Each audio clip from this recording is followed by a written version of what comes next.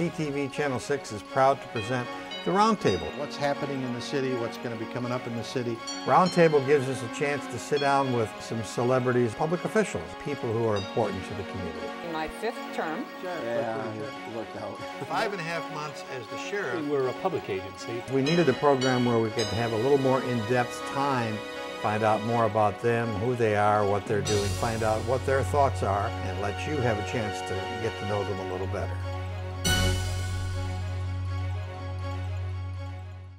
Welcome to another edition of the Roundtable. My name is Paul Dingeman. I host this program, which appears Marine City, St. Clair, all over St. Clair County. We are glad to have you joining us today. We are continuing our efforts on this program to give you a little more in-depth uh, reports on things that are happening in the uh, St. Clair, Blue Water, Marine City areas, and that uh, is why we have the chairman of the Board of, of uh, County Commissioners, Mr. Jeff Bohm, and the mayor of uh, City of St. Clair, Mr. Bill Cedar, with us today. Gentlemen, Jeff, nice to see you. Yeah, Welcome Paul, back thanks to for having Table. us. Your Honor, nice to see you, sir. Always a pleasure. There's been a front page story this last couple of weeks or so uh, about uh, St. Clair and things that are happening. So I thought we better get you in here. Something about uh, M29, something about a courtyard. Where do we all begin? Go ahead. Okay. um, yeah, you've read a lot of uh, articles recently on some of the different things that are happening in uh, happening here in St. Clair, and probably um, really the um, redo of the center courtyard in the mall um, that's been recently noted. Uh, the city of St. Clair has a sizable set aside for the community foundation. Um, which is going to essentially produce funding for a long time for a lot of different projects. And they have certain priority projects that they have on their list in the courtyard, um, along with some improvements in Palmer Park and St. Clair Inn, some things with M29 to really work on the connectivity and kind of the redo of the downtown uh, development district there in St. Clair. And the project in the center courtyard is happening, it is moving forward. And there was really a lot of um, talks and workshops and things like that as far as revisiting the M29 uh, corridor project. We went to City Council the other night and presented um, a little bit on the county's end. And the reason the county, and I I had a chart the other night that talked about why the county would probably make a lot of sense to be able to be the um, clearinghouse, so to speak, or to help through the process. The county, we have transportation specialists. They're full-time Okay. employees right. that work for the county that work on different issues. And we do this all over the county. They really have the connection with the state and federal agencies. They deal with MDOT on a regular basis. We have our county road commission. We have a working relationship with the city of St. Clair. Um, we have lobbyists. The county has a full-time lobbying firm to help. So really, when you look at the county and all of its interactions with all the different agencies, it really makes probably the most sense to help facilitate um, some of the different possibilities, as I'd like to emphasize. There's no pre-drawn conclusions on what we're doing with M29 at this time. We really are, are in discussions uh, with it, and I'll let uh, the mayor, I guess, talk a little bit Your about Honor, um, there's been, and you and I talked about this before we went on the air, there's been studies upon studies done since the uh, middle 1990s, probably even before that, uh, about M29, about the, the courtyard, about the Riverview Plaza, about the city in itself. So where are we at in, in all this process?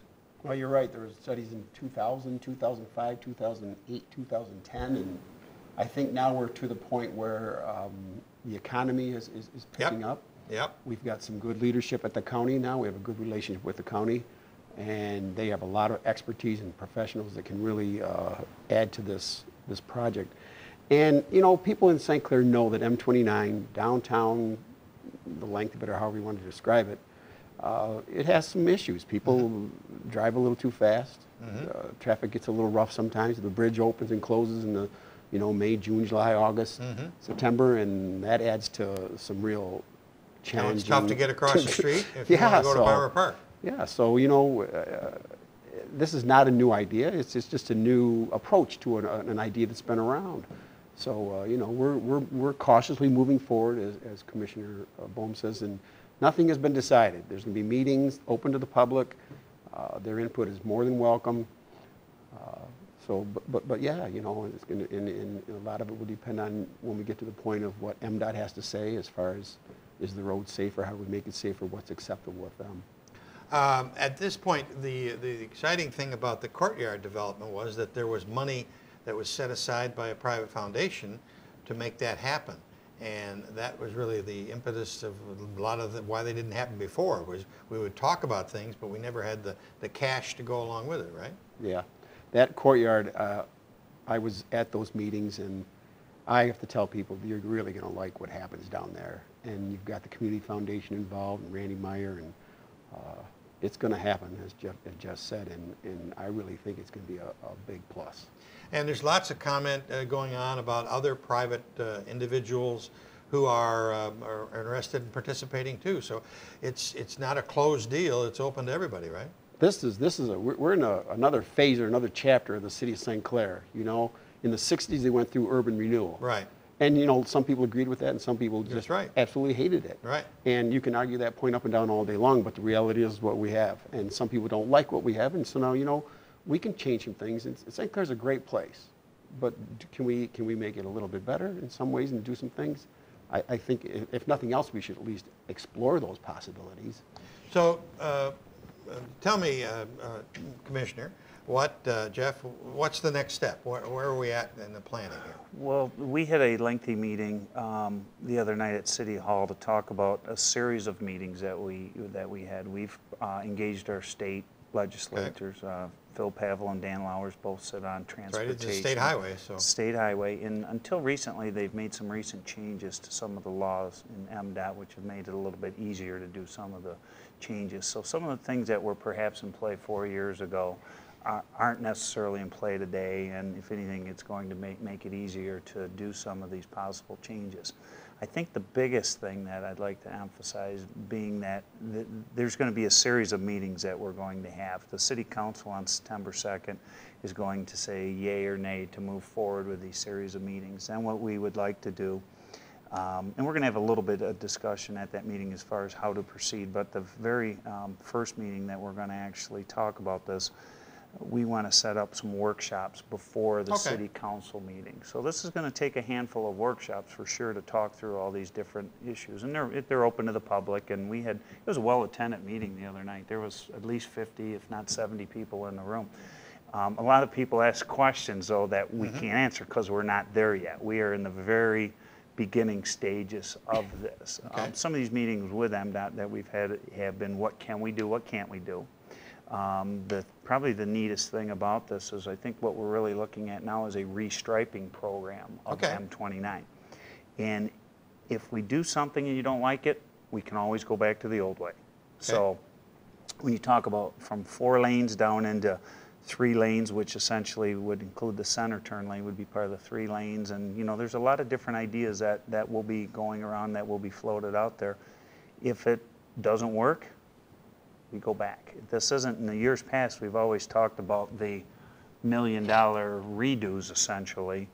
And that, you know, that comes with a heavy price tag. So MDOT's really lifted the, you know, the um, different options that you have, a lot more walkability, those types of things. We're not the only community going through this. No, either. Don't think no. this is St. Clair. If you look at the four-lane highway designs of years ago, they don't exist today. They're three lanes or five lanes. That's, you know, well noted. So that's why MDOT's willing to accept changes to some of the different things that they have. The history of the four lanes, I was trying to discuss this the other day with some people. Uh, We believe that it was in the mid-60s when the road went from a two-lane road in St. Clair, North Riverside, to a four-lane road. And maybe it was tied together with, with urban renewal. I don't know that. But I know that there was some uh, fellow by the name of Bud Isles, remember Bud Isles? Um, uh, had some trees he had to have moved. And, uh, you know, there was, there was anxiety and um, apprehension about my trees and are they going to be okay? They turned out all right. But this kinds of conversation, my point being, have been going on forever. And it's going to continue, as you say. Sure. I remember urban renewal. I was a little kid, Okay. obviously. Yeah. But my best friend lived across the street from me, Kevin Binkley. Mm-hmm. And I remember when they, my mom said, well, Kevin's moving to Lincoln Park. And I was like, why? Because they're going to tear his house down. For what? For urban renewal, to build the Palmer Park Manor. Wow. And my feelings were hurt. Yeah, And I was mad at the city at the time. Yeah. Thought, what the heck are they doing tearing my best friend's house down? Right. So, I mean, I, I mean, we're not tearing anybody's houses down. Right. Let's say that straight, okay? okay? Nobody's getting their house tore down. right. Yeah. Yeah, we moved to here in '72. Urban renewal was Was done. Was Done. done. Yeah. But I think if you look at, but then I always tell the story when I used to sled down Galanes Hill when we were kids Right. growing up. We used to sled in Galanes Hill. We would go into M29 multiple times. If you did that today, I guarantee you you wouldn't make it two times and you'd get clipped by a car. So the whole traffic flow and everything today is a whole different deal. Some of the things that we do know for a fact. Average speed on M29 is 42 miles an hour. Really? MDOT comes out and they do their traffic studies. And the concern with that is how they dictate speeds on roads are determined by um, traffic studies. So mm-hmm. that's why I try to tell everybody, if you don't work on slowing it down and that speed gets increased, because that's how they do it, whether you like it or not. Uh, uh 45 miles an hour turns into 55, mm-hmm. turns into mm-hmm. 60. Really, when you look at a, I think, and, and I go to not just the, the, the speeds on M29, but creating an overall downtown business district and the connectivity into Palmer Park and St. Clair and Palmer Park, M29, um, Mall, those are all the focus of really what's, what's The essentially destinations. destinations and, you know, with the Community Foundation, which is going to be a major player in this community for a long, long, long time, these are the focus items. And it's private money. You're, you're very fortunate to have that in play, and we're going to engage the public, and there's going to be just a lot of discussions here. But make it no mistake, um, we're not going through this just because. I mean, there is, we are going to come out of these meetings with action items and continue to work, um, move forward with this. And uh, we don't, we're not looking for false starts, because I know a lot of people have, you know, said, we've tried this before, and um, we've got all the right players at the table to make these things happen. Any final thoughts, sir, Your Honor? Well, just everybody, you know, be patient and understand that their voice will be heard and they'll have the opportunity to voice their opinion. And council is always open to people coming in and, you know, letting us know what they think and how they feel. Um, and I've had people already tell me how they feel, and some is pro and some is con, and that's normal stuff in, in you know, in, in any kind of political arena. Right. And certainly M29 and what to do with it is, you know, it's, it's a big part of this town. Yeah, a lot of series of meetings. First meeting is going to be, uh, well, September 2nd's just going to come in front of council to decide to move forward or not. Then the um, series of meetings will be two weeks after that, whatever. 15th, I The think it'll be. 15th, September 15th.